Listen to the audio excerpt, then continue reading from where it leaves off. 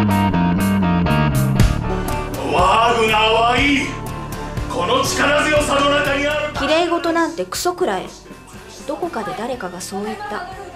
そんな言葉に私は全くの興味を示さない。いつも通りバイトを終えて家に帰って帰りにコンビニで買ったカップ麺をすすって寝床についた。夢の中で猫は私にこう言った。嘘つきめ。劇団羽おろしがエネルギッシュに描く問題作 SP 水曜劇場に登場。ご期待ください。